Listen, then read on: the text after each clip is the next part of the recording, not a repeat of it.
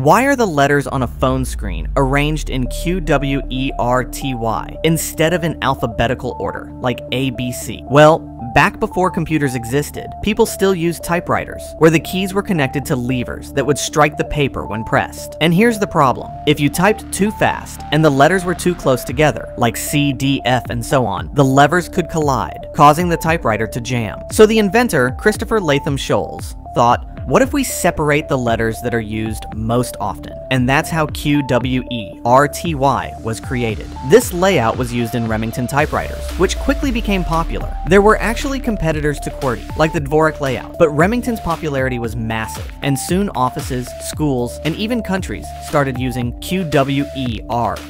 When computers and touchscreen phones came along, the QWERTY layout stuck. Why? Because we were already used to it. Changing to alphabetical order or any other layout would mean relearning everything and creating a new standard, and that's why the letters on your phone screen are arranged in QWERTY.